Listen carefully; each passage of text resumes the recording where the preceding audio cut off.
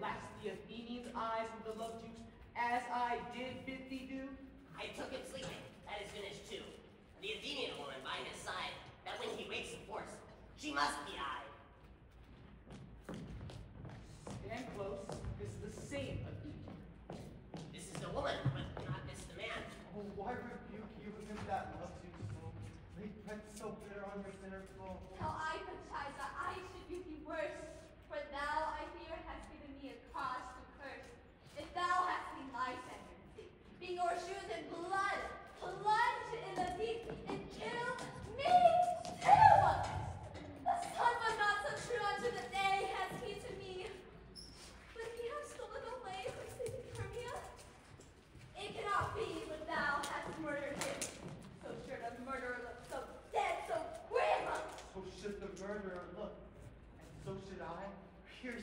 to of your stern cruelty. Yet you, the murderer, was as bright as clear as yonder Venus in her glimmering sphere. What's this to my Lysander? Where is he? August Demetrius, wilt thou give him to me? I'd rather give his carcass to my hound. Out, dog, out, cur! Thou givest me past the bounds of maidens' patience. Hast thou slain him then? Henceforth be never numbered among men. Oh, what? Tell true! Tell true, even for my sake. Durst thou have looked upon him being awake? And hast thou slain him? Slay me! You spend your passion on a misprized mood. I am not guilty of Lysander's blood, nor is he dead. For aught that I can tell. I pray thee, tell me that he is well. And if I could, what should I get there for? A privilege never to see me more. And from thy hated presence, this heart I sow. See me no more, whether he be dead or no. There's no following her in this fierce vein. Here, therefore, for a while I will remain. So sorrow's heaviness doth heavier grow, for death that bankrupt doth sorrow, which now in some slight measure will pay. For his sweet tender here I make some stay. What hast thou done? Thou hast mistaken quite, and laid the love juice on some true love sight. Of thy misprison must perforce ensue some true love turned false, and not a false turned true. Then fate o'errules, confounding not one man holding truth. A million fail, confounding oath on oath. About the wood goes swifter than the wind, and Helena of Athens look thou find.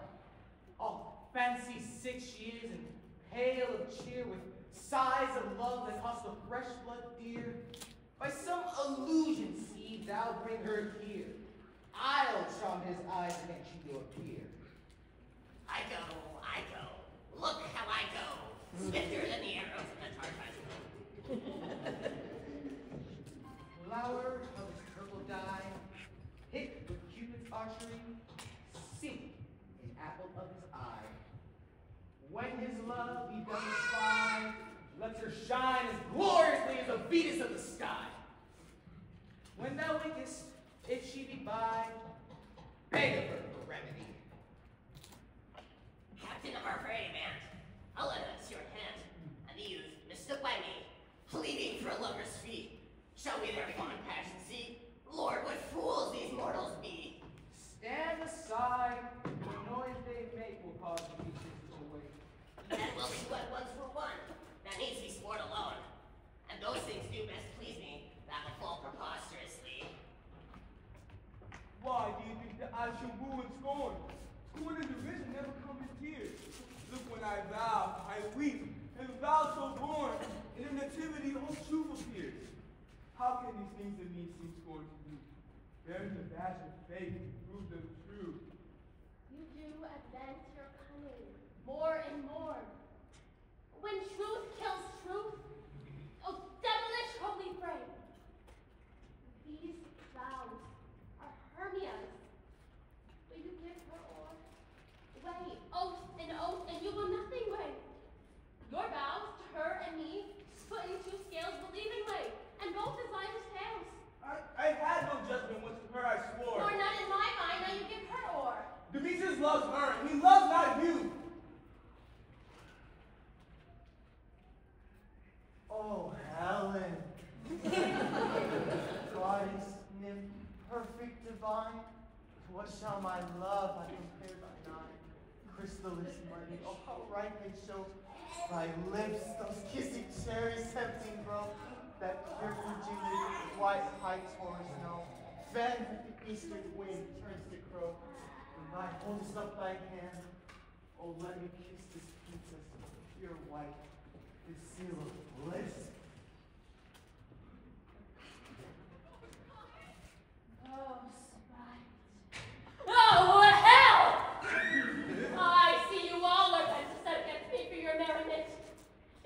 simple and knew courtesy, you would not do me thus much injury. Can you not hate me? As I know you do, but you must join in souls to mock me too. You are men, as men you are in show, you would not use a gentle lady so. You both have rivaled and loved Hermia. And now rivals to mock Helena? A terrific exploit, a manly enterprise to conjure tears up in a poor maid's eyes with your derision. You are unkind, Demetrius. Be not so, for you love Hermia. This you know I know. and here, with all the will, with all my heart, in Hermia's love, I yield you up my parts. To be yours are Helena, to me bequeath, whom I do love, and will do to my death. Never mockers waste for idle breath. Lysander, keep thy Hermia, I will none. Ere I loved her, all that love is gone. My heart to her but has guessed life's sojourn. Now to Helen is it home return, there to remain. Helen? It is not so. Just! Not the faith does not know. Ah! Helen!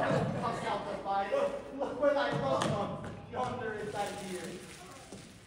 Heart night out from the eye his function take. The ear court quick that repentance make. Prudence doth prepare the same sense. It pays a double hearing recompense. Thou art not my mine eyes, Lysander! Thou! My dear, I think it is such with myself. Oh, why unkindly didst thou leave me so? Why should thou stay who love doth best to go? What love could press Lysander from my side? Lysander's love, who would not let him bind. Fair Helena, who more yields the night than all yon and eyes of life. Why seekest thou me? Could this make me know that hate I bear to make me bleed thee so? You think that as you think? It cannot be! She is the one of this confederacy. Now I perceive can all three of them in this false sport in spite of me. Injurious Hermia. Most ungrateful maid. Have you conspired? Have you, with these, contrived to bait me with this origin? It's all the counsel that we two have shared. The sister vows, the hours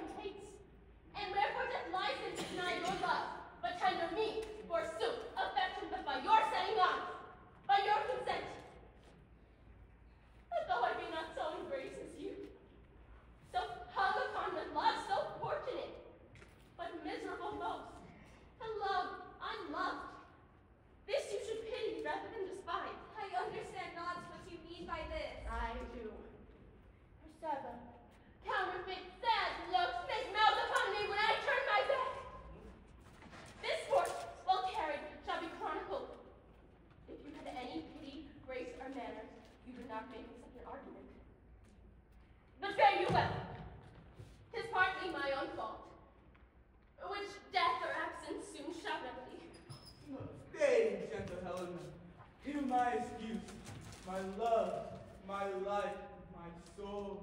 Fair Helena. Oh, excellent! Please do not scorn her so. If she cannot entreat, I can compel. Thou canst compel no more than she entreat. Thy threats have no more strength than her weak prayers. Helen, I love thee. By my life I do, and by that which I will lose for thee to prove him false that says, I love thee not. I say I love thee more than he can do. If thou say so, withdraw and prove it too. Quick, come. Lysander, where do Tinsel live? Wait! No, no, no. You seem to break loose. Say on as you would follow. Now, her vile thing let loose. She ain't me like nothing. Why, when you broke your rule, what is this, sweet love? Love? Taught her out. Oh, love and his oh, hate potion. Did you not jest? You suit! And so do you! Demetrius! I'll keep my word with thee. I would I had your bond, for I see a weaker bond holds you. I'll not trust your word. What? Should I hurt her? Strike her? Kill her dead? Although I do hate her, I'll not harm her so. What? Can you do me greater harm than hate? Hate me!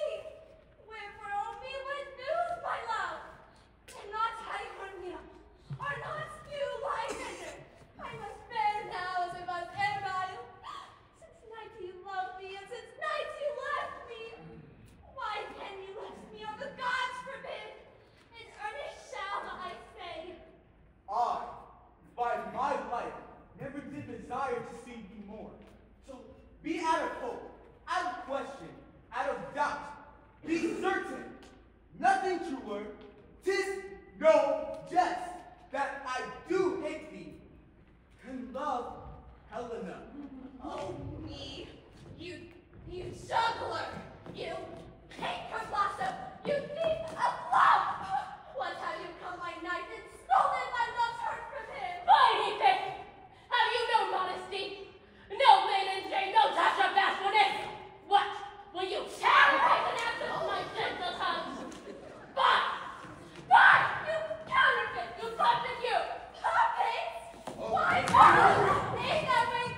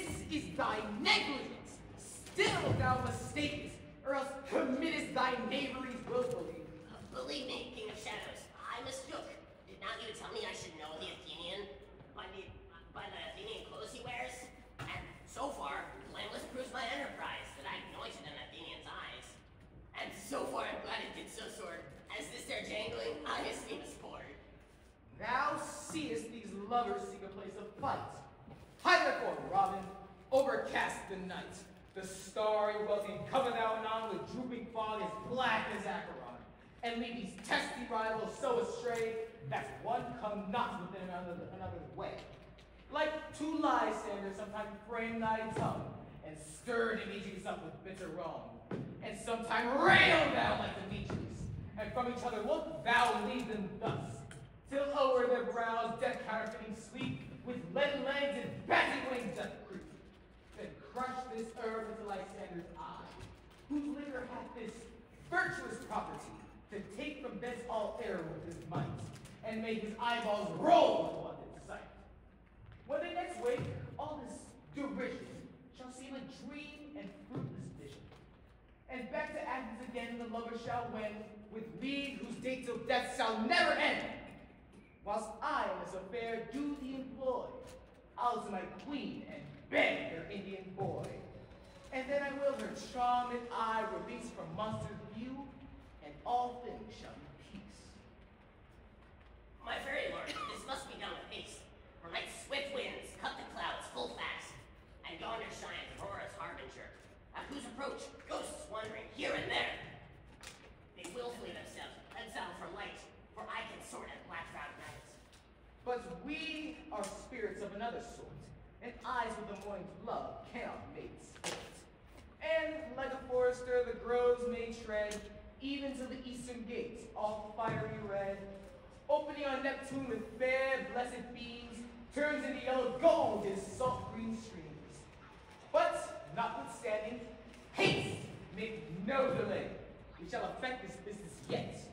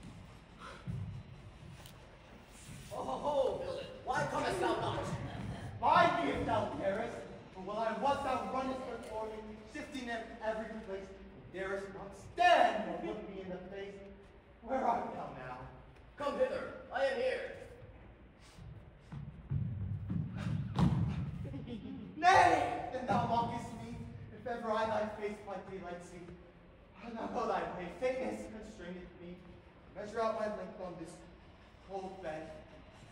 My day's approach to be visited.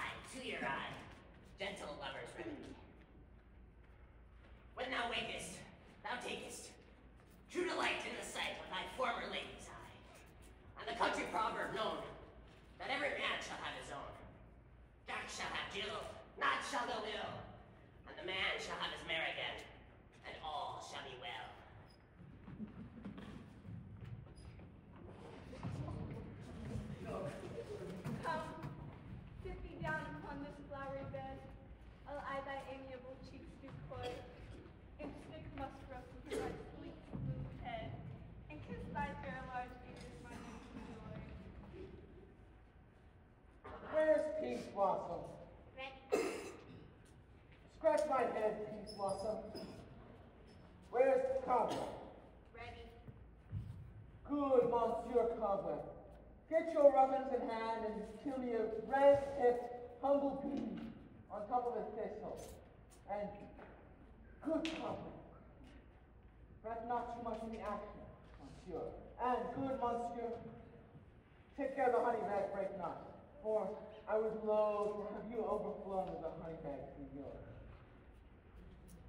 Where is Mustardseed? Ready. Give me your knee, Mustardseed. Pray you leave your courtesy. What is your will, sir? Nothing but to help cavalry recover. Scratch. For I am marvelous hairy about the face. I must to the barber. For, and I am such a tender ass that my hair shall tickle me. I, must scratch. What? Wilt thou hear some music, my sweet love? I have a reasonable video in music. Let's have the tongues in the bones. Or say, sweet love, what thou desires to eat. Truly a pack of provender. I could much more good dry oats. Uh, I would have a desire to a bottle of hay. good hay, sweet hay, happy no fellow. I have a venturous fairy that shall seek this rose cord and fetch thee me nuts. I'd rather have an answer to dry tea. Taking, uh, none of your people scare me. I have an exposition of sleep come upon me. Sleep thou, and I will wind thee in my arms. So doth the wood find the sweet honeysuckle gently entwist the female ivy so, and rings the barky fingers of the elm. Oh, how I love thee, how I dote on thee. Welcome, good Robin. Seest thou the sweet sight? Her dotage now I do begin to pity. For meeting her as of late behind this wood, seeking sweet favors for this hateful fool, I then did upbraid her and out with her. When I had at my pleasure talked with her, and she in mild terms begged my patience, I then did ask of her her changeling child, which straight she gave me, and a fairy sent to bear him to my bower in fairyland. And now that I have the boy, I will undo this hateful imperfection of off her eyes. And, gentle Puck, take this transformed scalp from off the head of this Athenian swain, that he, awaking when the others do, may all to Athens back again repair, and think no more of this night's accidents, but as the fierce vexation of a dream. But first, I will release the fairy queen. Be thou as wont to be, see thou as wont to see. Dian's bud over Cupid's flower had such force and blessed power. Now, Titania, wake you, my sweet queen. My Oberon, what visions have I seen? Methought I was enamored of an axe. There lies your love.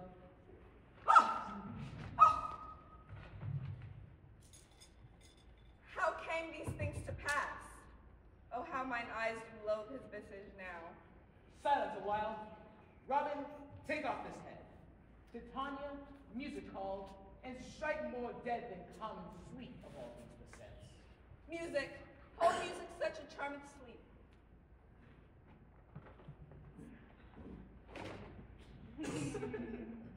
When thou wakest, with thine own fool's eyes peep. Sound music. Come, my sweet queen, and let us rock the ground whereon these sleepers be.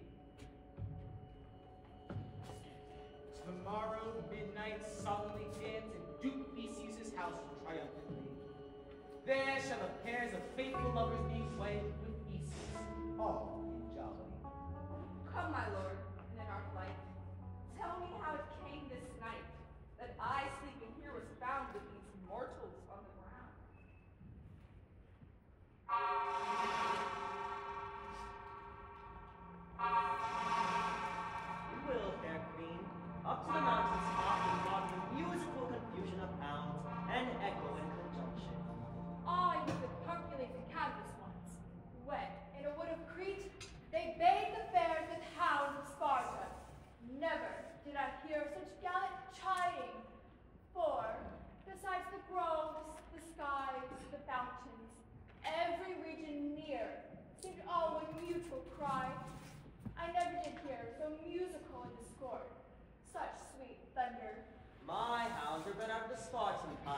So glued, so sanded, with heads that are hung with ears that sweep away the morning dew.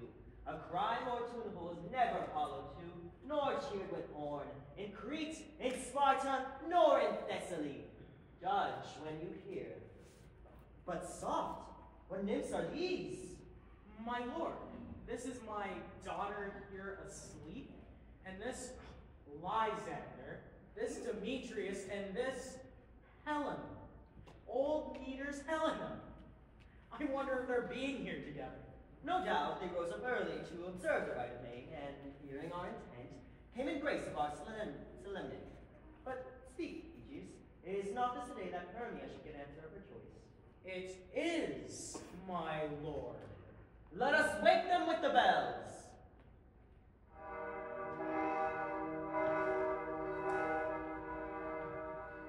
Good morrow, friends. St. Valentine has passed. Uh, these woodbirds but a couple now.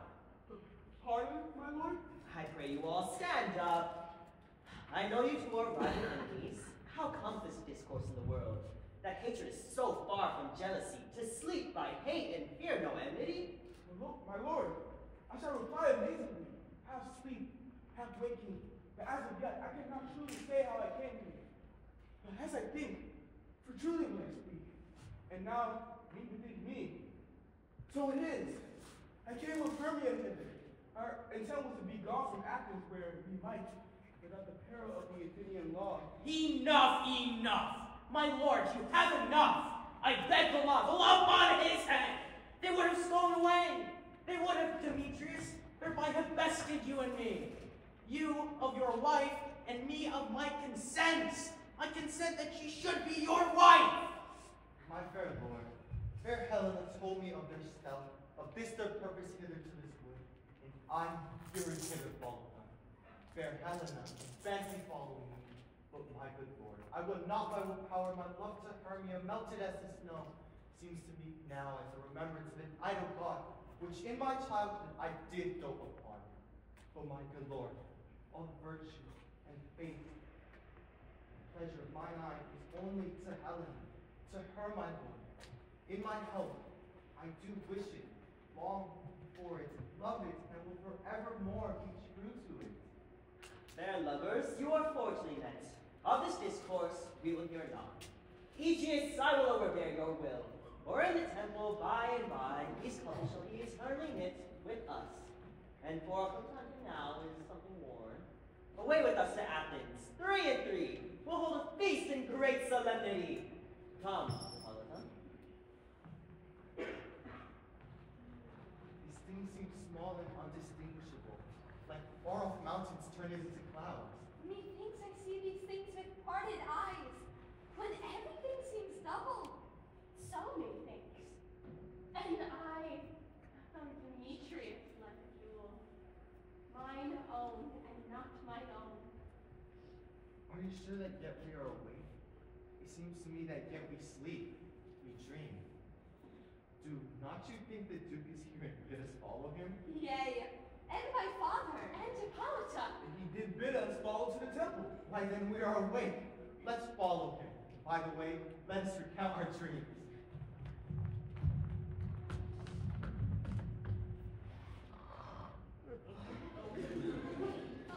When my cue comes, call me and I will answer. Hey ho! Peter Quince, Flute the bellows mender, Snout the tinker, Starveling, God's my life, stolen hence and left me asleep. I have had a most rare vision. I have had a dream past the wits of man to say what dream it was. Man is but an ass if you go about to expound this dream. Methought I was. There's no man that could say what methought I was. Methought I had. Methought I was. Man is but a past fool if he offer to say what methought I had. The eye of man hath not heard, the ear of man hath not seen, his hand hath not to taste, or his tongue to conceive, nor his heart to report what was in my dream. I will get Peter Quince to write a ballad of this dream. Mm-hmm. It shall be called Bottom's Dream. because it hath no bottom.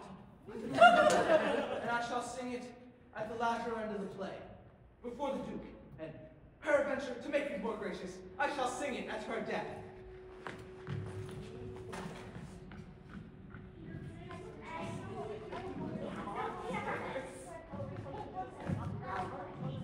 Have you sent to Bottom's house? Is he come home yet? He cannot be heard of. I doubt he is transported. If he come not, then the plane is marred. It goes not forward, doth it? It is not possible. You have not a man in all Athens able to discharge pure he, no. He hath simply the best wit of any handicraftsman in Athens. Yea, and the best person too. And he is a very paramour for sweet voice. You must say paragon. A paramour is a thing of naught. Masters! The Duke is coming from the temple, and there is two or three lords and ladies. More merry! If our sport had gone forward, we had all had been named men! Sweet holy bottom! Thus hath he lost sixpence a day during his life. He cannot escape sixpence a day! And if the Duke had not given him sixpence a day for playing Pyramus, I'll be hanged! He would have deserved it. Sixpence a day in Pyramus or nothing! Where are these lads? Where are these hearts? Oh, most courageous day, oh, most happy hour. Masters, I am to discourse wonders. But that's enough. For if I tell you I am not truly, I will tell you everything as it fell out. Let us hear, sweet bottom. Not a word of me. All that I will tell you is that the Duke hath dined.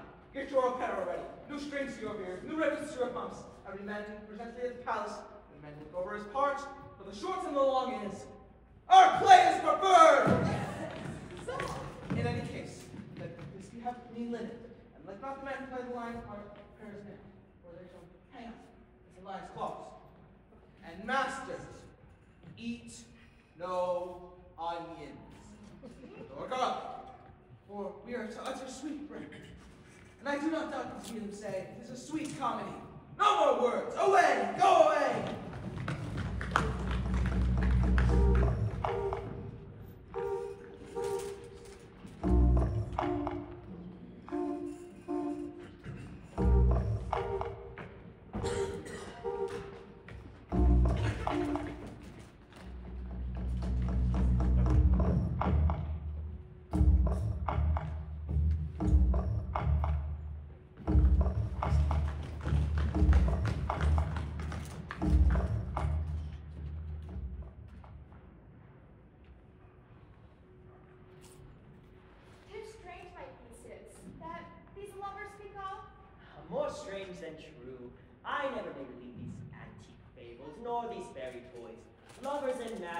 Such seething brains, such shaping fantasies, that apprehend more than who reason comprehends.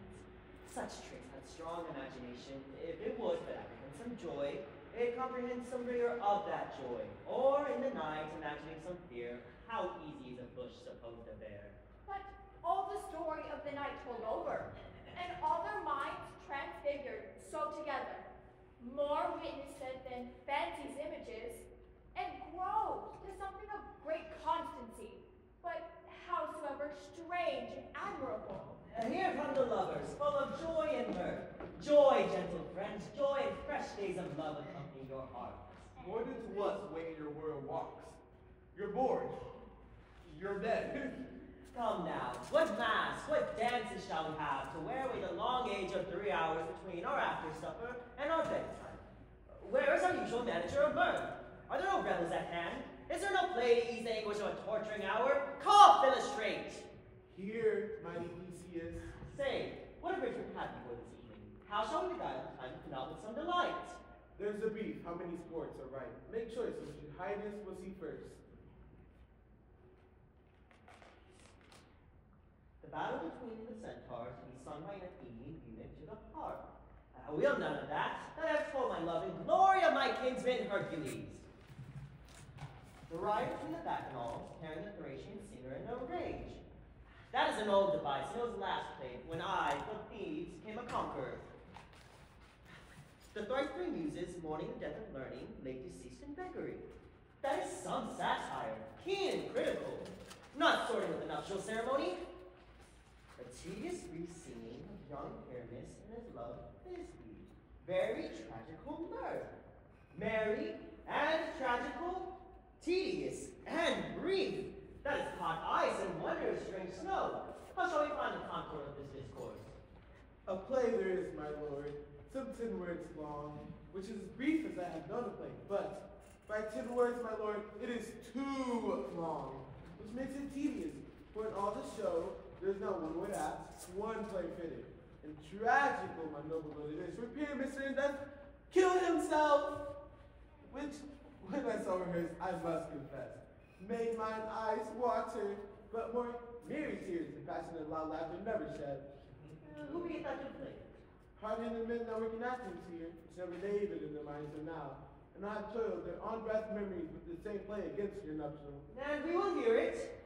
No, my noble lord, it is not for you, for I have heard it over. There's nothing, nothing in the world, unless you can find sport with intent, extremely stressed and con with cruel pain to the usurpers.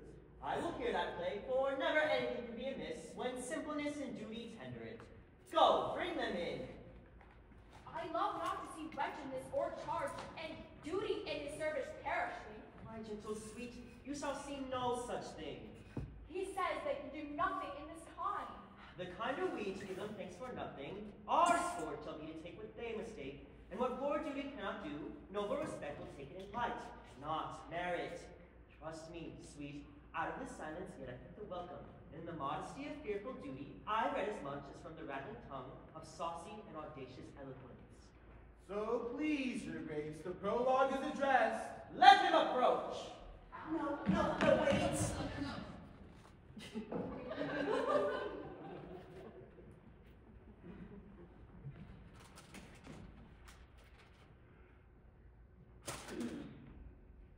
if we offend, it is with our good will. That you should think we come not to offend, but with good will, to show our simple skill, that is the true beginning of our end. Consider then, we come but in despite. We do not come as minded to content you. Our true intent is all for your delight. We are not here. That you should hear repent you.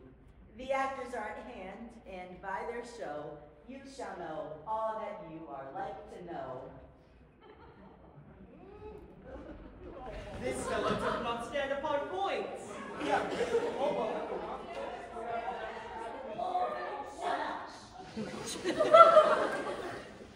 he knows not to stop. Good morning, my lord. It is not enough to speak, but to speak true. Indeed, he has played on this prologue like a child on a recorder, a sound but not in government. His speech was like a tangled chain, nothing impaired, but all disordered. Come on.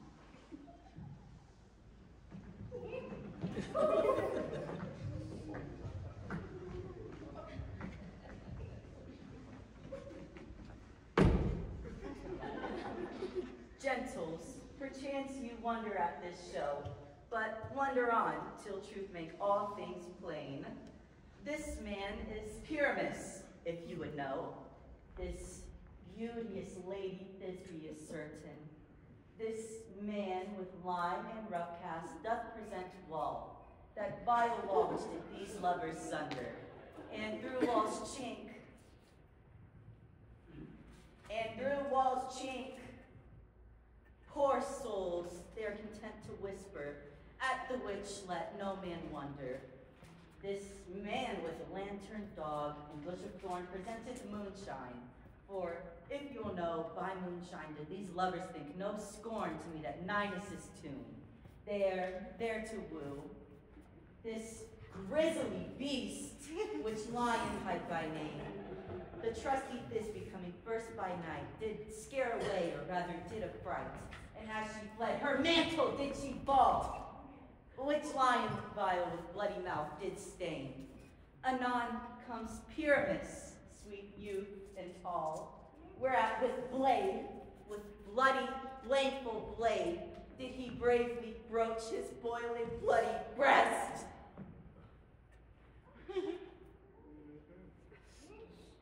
Apologies. And Thisbe, tearing in mulberry shade, his dagger drew and died. For all the rest, let lion, moonshine, wall, and lovers twain at large discourse, while here they do remain. I wonder if the lion can speak. No wonder, my lord. One lion may when many asses do.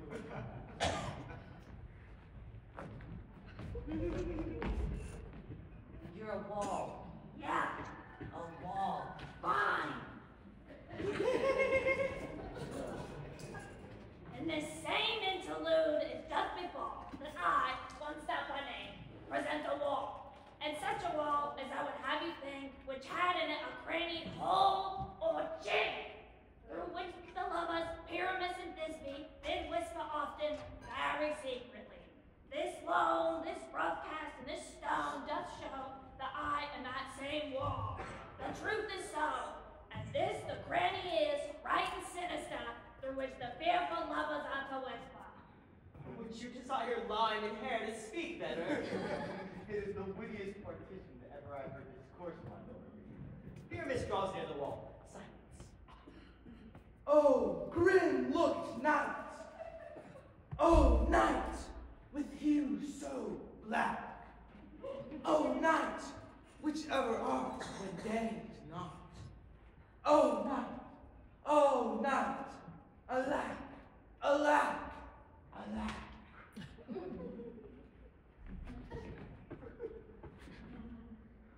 I fear my Thisbe's promises forgot, and that wall, oh sweet, oh lovely wall, stand before my father's round mine. And thou wall, oh sweet, oh lovely wall, show me thy cheek to blink through with mine eye. Thanks, courteous wall, Jove shield thee well for this. But what's the eye? No Thisbe do I see. Oh, wicked wall, through whom I see no bliss. Cursed be thy stones for thus deceiving me. The wall, methinks, being sensible, should curse again. No, no, in truth, sir, you should not. Uh, deceiving me is is She's ended now, and I'm despising her through the wall. You will see it will fall past as I told you. Yonder she comes. Oh, wall! Full often hast thou heard my moans from parting my fair Pyramus and me. These cherry lips have often kissed thy stones, thy stones of lime and hair knit up in me. I see a voice. Now I to the chink to spy, and I can hear my Thisbe's face. Thisbe, My love! Thou art my love, I think. think what thou wilt. I am thy lover's grace, and like Limander am I trusty still. And I, like Helen, till the fates me kill. As Shafalus to Procrus was so true. As Shafalus to Procrus, I to you. Oh, kiss me through the hole of this vile wall. I kiss the wall's hole, not your lips at all. Wilt thou in these tombs meet me straight away? Ninuses. Ninus' tomb meets me straight away. Tide life, tide death, I come without delay. Thus have I, wall, my partner standing so, and being done, away that go. Now is the wall down between the two neighbors. No remedy, my lord, when walls so willful to hear without warning. This is the silliest stuff that ever I heard. The best in this kind are but shadows, and the worst are no worse. The imagination amend them. It must be your imagination then, and not theirs. If we imagine no worse of them, they may get through for excellent men. Here come two noble beasts, a man and a lion.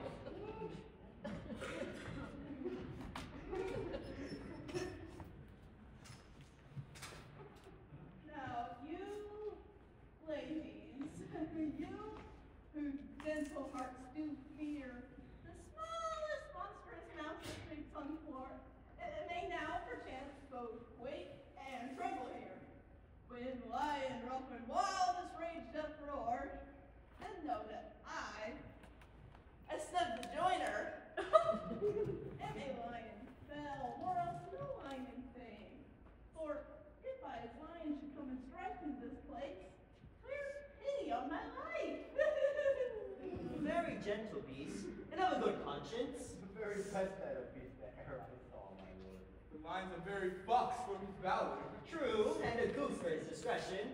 not so, my lord, for his valor not carry his discretion, and the fox carries the goose. His discretion, I am sure, cannot carry his valor, for the goose carries not the fox. It is well, leave it to his discretion, and let us listen to the moon. This lanthorn doth the horned moon present. he should have worn the horns on his head. he is no crescent, and his horns are invisible within the circumference. Come for the candle, for you see it is already in the snuff.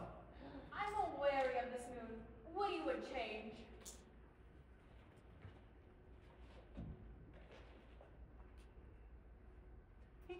Proceed, moon.